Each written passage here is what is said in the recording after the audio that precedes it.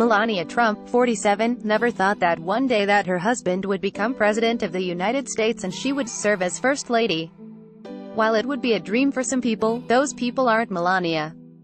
The former model thought she was going to lead the glitzy and glamorous life of a celebrity, but was instead put in the public spotlight as a political figure. And she's reportedly not enjoying it. That entire world she used to enjoy is closed to her, an anonymous Trump family insider told Us Weekly.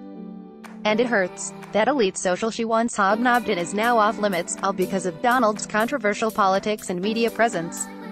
When Melania and Donald got married in 2005 in Palm Beach, her guest list included A-listers like Heidi Klum and Kelly Ripa.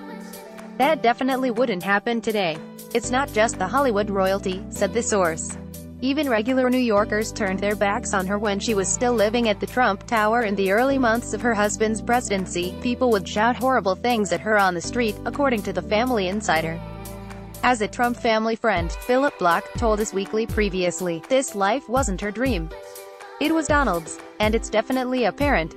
Not only does Melania have to suffer from social isolation and the upheaval of her old life but Donald's latest scandals are making her life hellish, as well. She's opted to stay largely quiet in the wake of porn star Stormy Daniels and former Playboy model Karen McDougal both claiming they allegedly had affairs with the now president. Actions speak louder than words, though. Melania has been giving Donald major side-eye and swerving him in public. She spent spring break with their son, Barron Trump, 11, far away from him. He'll be in the doghouse for a while.